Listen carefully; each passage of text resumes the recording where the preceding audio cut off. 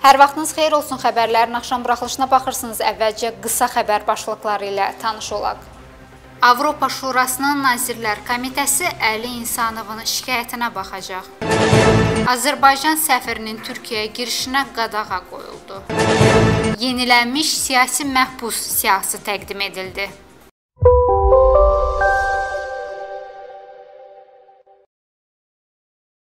Bu və digər xəbərlər barədə isə daha ətraflı Azərbaycan Xarici İşlər Nazirliyinin İslam Əməkdaşlıq Təşkilatı və bu təşkilata bağlı strukturlarla əməkdaşlığa məhsul xüsusi tapşırıqlar üzrə səfiri Elşad İskəndərovun Türkiyəyə girişinə qadağa qoyulub. Elşad İskəndərov Azərbaycan-Türkiyə münasibətlərinə kölgə düşürməkdə günahlandırılır. Türkiyə mətbuatı səfir Elşad İskəndərovun ölkəyə girişinə qadağa qoyduğunu yayıb. Bildirilir ki, Elşad İskəndərov Azərbaycan-Türkiyə münasibətlərinə kölgə düşürməkdə günahlandırılır. Bu barədə qərar İslam Əməkdaşlıq Təşkilatının yanvarın 15-də keçirilən toplantısında qalmaqallı açıqlamadan sonra verilib. Belə ki, tədbir zamanı Körfəz ölkələrindən birini təmsil edən adı açıqlanmayan səfirlərdən biri Azərbaycan Xarici İşlər Nazirliyi Nazirliyindən olan səlahiyyətli şəxs bizim ölkənin Bakıdakı səfirliyinə gələrək Türkiyənin bizə qarşı təxribat hazırladığını söyləyib deyərək izahat tələb edib. Həmin səfirin bu sözlərindən sonra Azərbaycanın İslam Əməkdaşlıq Təşkilatı yanında daimi nümayəndəsi Şahin Abdullayev məsələni Azərbaycanda aidiyyatı qurumlara məruzə edəcəyini bəyan edib. Açıqlamadan sonra məsələ ilə bağlı araşdırma aparan Azərbaycan tərəfi problemin Xarici İşlər Nazirliyinin verdiyi yanlış bilgi səbəbilə bu nöqtəyə gəlib çıxdığı müəyyənləşdirilib. Azərbaycan adından xarici səfirliyə məlumat verən şəxsin Elşad İskəndərovun olduğu ortaya çıxandan sonra onun Türkiyəyə girişi və səlahiyyətinə qadağa qoyulub. Xarici İşlər Nazirliyi Elşad İskəndarovla bağlı bəyanat yayıb. Nazirlik yaydığı bəyanatda qeyd edib ki, Türkiyədə İslam Əməkdaşlıq Təşkilatının hər hansı bir iclası keçirilməyib. Mətbuatda məsələ ilə bağlı gedən yazılarsa həqiqət əks etdirməyərək qərəzli xarakter daşıdığından Türkiyə-Azərbaycan qardaşlıq münasibətlərinə kölgə salır. Yenilənmiş siyasi məhbus siyahısı təqdim edilib. Vahid siyasi məhbus siyahısının hazırlanması üzrə işçi qrup siyasi məhbusların yenilənmiş növbəti siyahısına 127 nəfərin adını daxil edib. Vahid siyasi məhbus siyasının hazırlanması üzrə işçi qrup siyasi məhbusların yenilənmiş növbəti siyasını təqdim edib. Siyahı 20 fevral 2019-cu ilədək olan dövrü əhatə edir. Bu barədə işçi qrupun yaydığı məlumatda qeyd olunub. Bildirilir ki, əldə edilmiş sənədlər, məhkəmə müşahidələri və müsahibələr əsasında işçi qrup 127 nəfərlə bağlı işdə siyasi motivli həbsin baş verdiyini təsbit edərək o məhbusları siyasi məhbus kimi tanıyıb. 54 nəfərin adını monitorinq altında olanların siyahısına salıb, bir nəfəri isə monitorinqdən çıxararaq siyasi məhbus kimi tanıyıb. İşçi qrup 3 iyul 2018-ci ildə Gəncə İcra Hakimiyyəti başçısına qarşı sui-qəsd, daha sonra 10 iyulda Gəncədə 2 polis əməkdaşının öldürüldüyü hadisə ilə bağlı həbs edilən 51 nəfəri aşağıdakı səbəblərdən monitorinq altında olanların siyahısına əlavə edir. Dövlət orqanları həbs edilənlərin təqsirsizlik prezumpsiyasını pozub. Həbs edilənlərin ailə üzvlərinə 9 gün heç bir məlumat verilməyib. Hadisələrin mütəşəkkil dəstə tərəfindən törədildiyi iddia olunsa da, bununla bağlı sübutlar ortaya qoyulmayıb. Qrupun siyasi məhbus kimi tanıdığı 127 nəfər aşağıdakı qaydada təsnifləşdirilib. 9 jurnalist və bloger, 1 şair, 1 hüquq müdafiəçisi, 18 siyasi və ictimai fəal, 67 inanclı fəal, ömürlük həbs olunma cəzasına məhkum olunan 3 nəfər, 14 sosial etirazlarla bağlı tutulan, 2 keçmiş dövlət məmuru, 4 siyasi girov, 8 nəfər Səid Dadaşbəyli və onunla birgə tutulanlar. İstanbulda Palmali şirkətlər qrupu tərəfindən Xocalı soyqırımının anım günü ilə əlaqədar Böyük Xocalı üçün paylaş beynəlxalq sosial media kampaniyası təşkil olunacaq. İstanbulda Palmali Şirkətlər Qrupu tərəfindən Xocalı soyqırımının anım günü ilə əlaqədar Böyük Xocalı üçün paylaş beynəlxalq sosial media kampaniyası təşkil olunacaq. Təşkilatçıların verdiyi məlumata görə İstanbul Universitetində baş tutacaq kampaniya 4 dildə, əsasən tələbələrdən ibarət könüllülər tərəfindən aparılacaq. 26 fevral 2019-cu il saat 12:00-da İstanbul Universitetində başlayacaq kampaniyanın əsas məqsədi başda Twitter olmaqla bütün sosial şəbəkələrdə o günün anlam və önəminin dünyaya çatdırılmasıdır.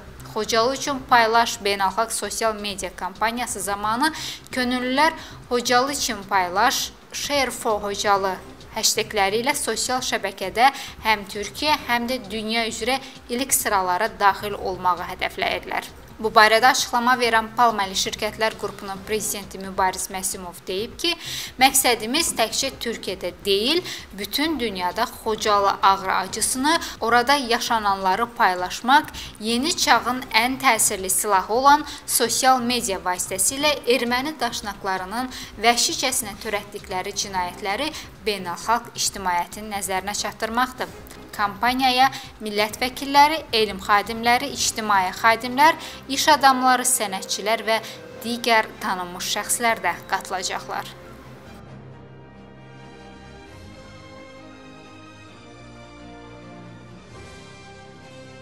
Avropa Şurasının Nazirlər Komitəsi sabiq Səhiyyə naziri Əli İnsanovun şikayətinə baxacaq. Bu barədə Real Partiyasının sədri İlqar Məmmədov Facebook səhifəsində yazıb. Onun fikrincə, Nazirlər Komitəsi məsələni gündəliyə salıbsa, demək ya qərar ya da qətnamə qəbul etmək niyyətindədir. Martın 12-sinədək Avropa Şurasının Nazirlər Komitəsi Azərbaycanın keçmiş səhiyyə naziri Əli İnsanovun şikayətinə baxacaq.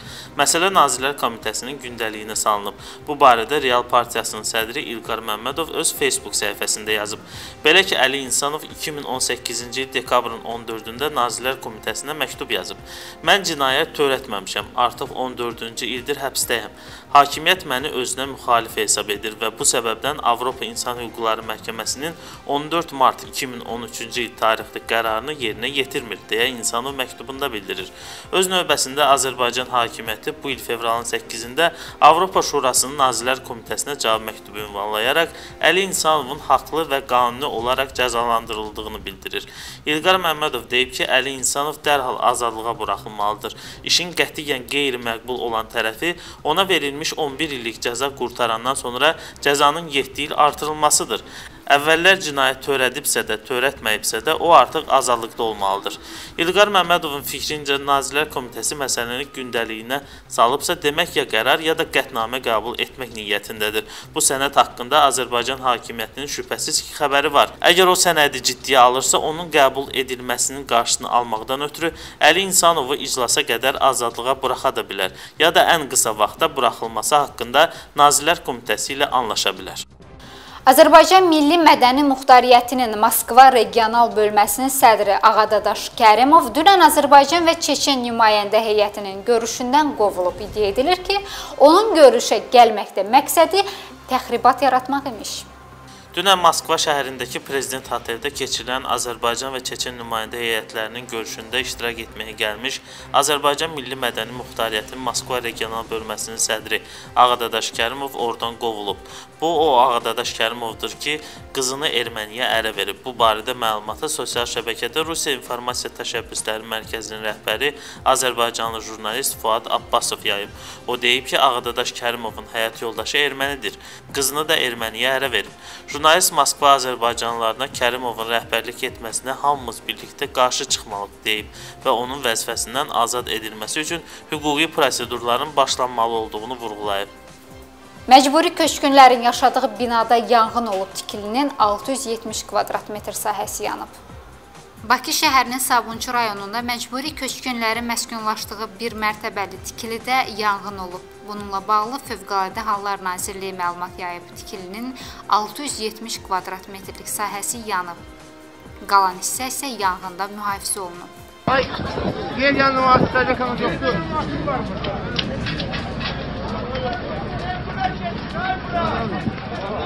Alsın, dirə bax.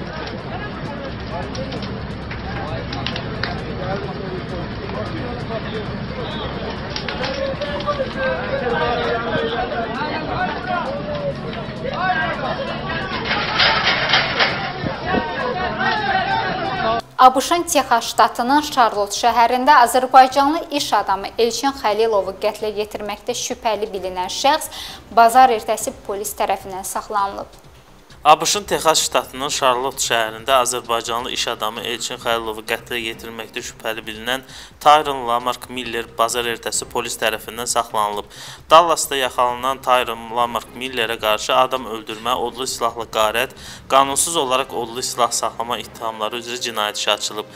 Xatırladaq ki, cinayətkar yanvarın 14-də yerli vaxtla səhər 11:00 radələrində Sharon Amity Road küçəsində yerləşən 29 yaşlı Elçin Xəlilovun Muradovun sahib olduğu mobil telefonların təmiri dükanına silahlı basqın edib. Miller mobil telefonları və kassadakı pulları oğurlamağa çalışsa da, tərəflər arasında yaşanan gərginlikdən sonra Miller Xəlilova boyun nahiyəsindən atəş açıb. Xəlilov xəstəxanaya çatdırılsa da, həkimlərin səylərinə baxmayaraq dünyasını dəyişib. Qeyd edək ki, qaradərli şübhəlinin yaxalanmasında yerli hüquq mühafizə orqanlarına Federal Təhqiqatlar Bürosu və Dallas Polis İdarəsi də yardım edib. Bax belə, bu günlük və bu saatlıq bizdən bu qədər. Sabah bizi izləməyi unutmayın. Hələlik.